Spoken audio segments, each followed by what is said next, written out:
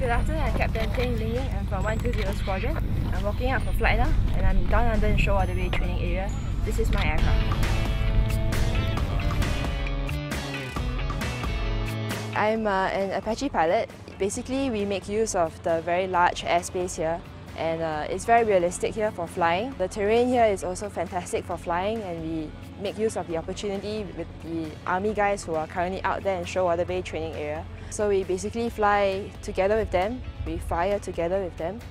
Integrating is a really tricky business. Uh, basically the Air Force will speak a language and uh, it may not always be the same language that the Army speaks, and likewise with the Navy. In Ops, we all have to speak exactly the same thing and know exactly what each other are doing so that everything will flow as smoothly as possible.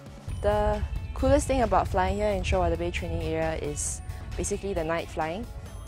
Over here, as compared to Singapore, it really is pitch dark. So one of the key memories that I get from flying here as my first time is my first night flight over here. At night, when there's nothing to see, you have the aircraft systems to help you. And back home, they have actually taught us and trained us thoroughly to just completely trust the systems and fly the systems.